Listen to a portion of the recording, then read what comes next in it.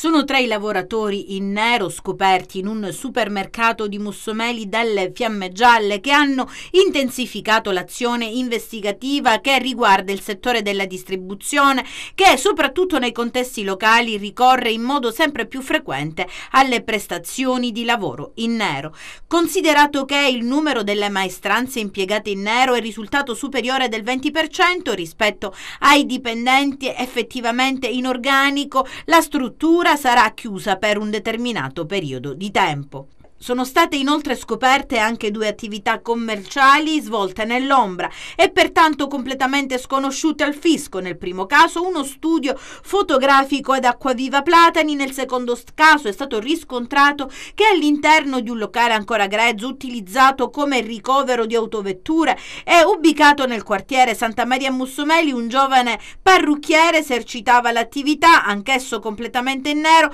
e senza alcuna autorizzazione sanitaria.